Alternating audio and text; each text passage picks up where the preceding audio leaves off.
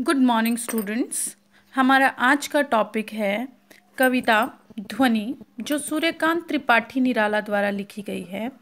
इस कविता में कवि अपने जीवन के माध्यम से और लोगों को प्रेरणा देना चाहता है। कवि कहता है कि अभी न होगा मेरा अंत अभी अभी ही तो आया है, मेरे वन में मृदुल वसंत, अभी न होगा मेरा अंत। कवि कहता है कि मेरे जीवन का अभी अंत नहीं होगा, क्योंकि मेरे वन वन अर्थात जीवन। मेरे जीवन में मृदुल, कोमल वसंत का आगमन अभी अभी ही हुआ है। अर्थात मैंने अभी अभी ही अपने जीवन को अच्छे से जीना सीखा है तो अभी न होगा मेरा अंत। अर्थात मैंने अभी अभी आत्मविश्वास के साथ जीना सीखा है। मेरे जीवन का अंत नहीं होगा और मैं अभी बहुत लोगों को अपने जीवन से प्रेरणा दूँगा। हरे हरे ये पात, डालियाँ, कलियाँ, कोमल गात, मैं ही अपना स्वर मृदुल कर फेरूँगा निद्रित कलियों पर जगह एक प्रत्युष मनोहर।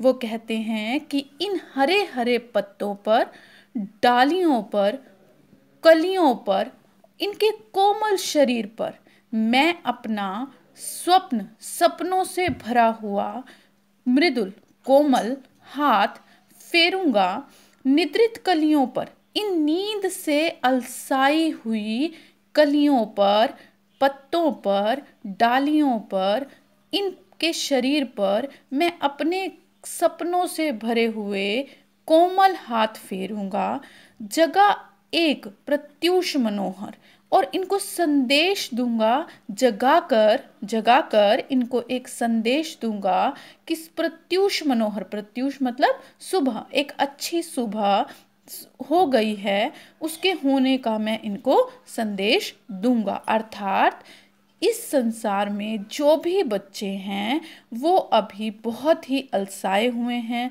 उनको मैं प्रेरणा दूँगा, उनको अच्छा बनाने की कोशिश करूँगा।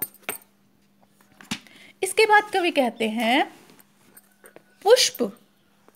पुष्प पुष्प से तंद्रा आलस।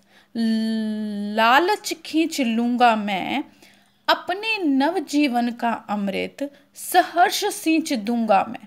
वो कहते कि पुष्प पुष्प अर्थात हर एक युवा पुष्प का स, पुष्प यहाँ प्रतीक है युवाओं का। तो हर एक युवा से तंद्रा आलस तंद्रा मतलब नींद की वजह से उत्पन्न हुआ आलस लालसा जो भी उनके अंदर लालच भरा हुआ है उसे मैं खींच लूँगा।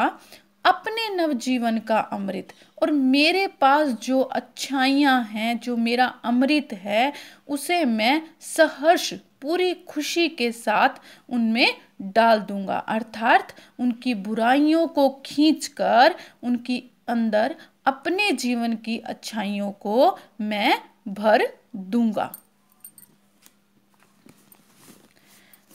द्वार दिखा दूँगा फिर उनको है मेरे वे जहाँ अनंत, अभी न होगा मेरा अंत। फिर वो कहते हैं कि जो मेरे द्वार हैं, अर्थात जहाँ अनंत खुशी है, वो रास्ता, वो जीवन का पहलू जहाँ पर उनको दुख नहीं होगा, मैं उन सबको वो दिखा दूँगा। अर्थात मुझे जीवन में बहुत काम करने हैं, इसलिए अभी मेरे जीवन का अंत नहीं होगा, अभी मेरा जीवन समाप्त नहीं होगा। तो इस कविता के माध्यम से कवि बच्चों को, युवाओं को प्रेरणा देना चाहता है और वह कहना चाहता है कि अभी उसे बहुत लोगों को प्रेरित करना है तो अभी उसके जीवन का अंत नहीं होगा। स्टूडेंट्स इस पोयम के कुछ क्वेश्चंस हैं जो मैं आपसे पूछ रही हूँ। आप उनके आंसर्स करेंगे। कवि को ऐसा क्यों लगता है कि अभी उसके जीवन का अंत नहीं होगा? कविता की व्याख्या से समझ आ ही रहा है, क्योंकि कवि को अभी विश्वास है कि उसके जीवन में अभी अभी वसंत आया है और उसे बहुत लोगों को प्रेरित करना है। इसीलिए उसके जीवन में अभी उसके जीवन का अंत नहीं होगा। सेकंड क्वेश्चन है, फूलों को अनंत तक विकसित करने के लिए कवि कौन कौन से प्रयास करना चाहता है? तो फूलों को अनंत तक विकसित करने के लिए कवि उनको द्वार दिखाना चाहता है, उनकी तंद्रा और आलस्य को दूर खींचना चाहता है ताकि वो अपने जीवन को खुशी खुशी जी सकें। कवि पुष्पों की तंद्रा और आलस से दूर हटाने के लिए क्या करना चाहता है?